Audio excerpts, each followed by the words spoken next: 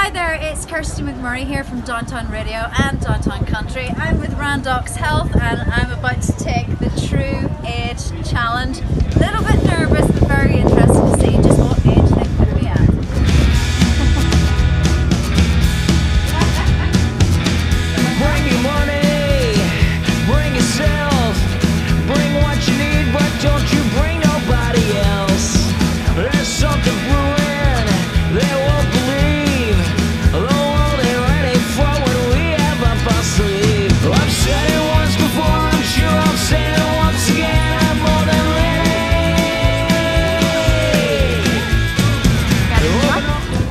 Okay, so I've just got my results and I'm absolutely delighted. I'm actually minus 15, so you know, in case you didn't know, I'm 45, but my true age is 30 years old, which is fantastic. I've been going to the gym for about the last sort of 18 months and it's certainly paid off. Everything has come down in the right direction and I'm chuffed a bit. So thank you so much to Randox Health for doing the true